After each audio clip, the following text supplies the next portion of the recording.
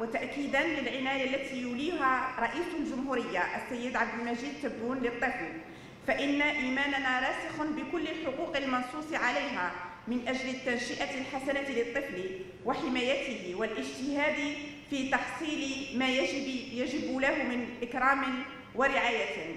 وعليه فإننا نشدد على مسألة في غاية الأهمية. تتعلق بتعليم الطفل وتنشئته أخلاقيا ودعم مواهبه واكتشافها وتنميتها وفسح المجال لهذه العبقريات كي ترى النور وتحظى بالتقدير والرعاية من أجل بناء إنسان المستقبل وتحقيق المواطنة الرشيدة التي ترفع مجد الوطن وتسهم في تنميته وإشعاعه في كل المجالات بين الأمم.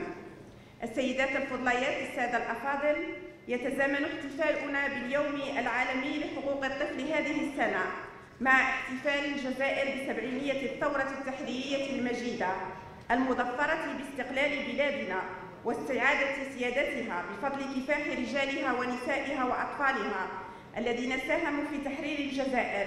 ومنهم من عاش أصنافا من التعذيب والانتهاك في اعتداء صارخ على الإنسانية وحقوق الإنسان.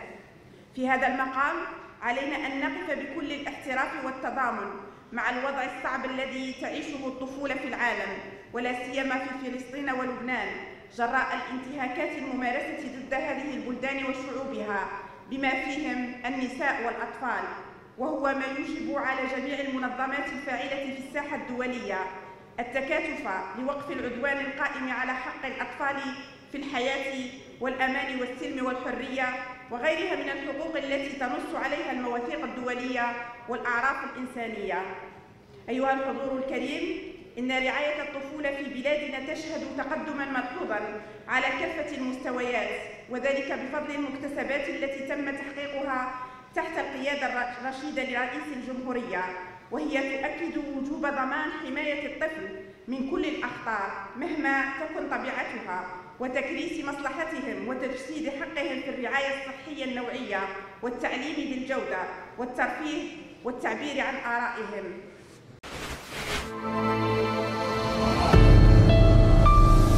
وطنيا نيوز الواقع من المواقع.